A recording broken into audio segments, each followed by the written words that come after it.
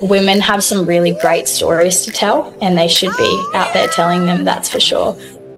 Like, I want to see more girls behind the camera. The game is changing and it's moving in the right direction.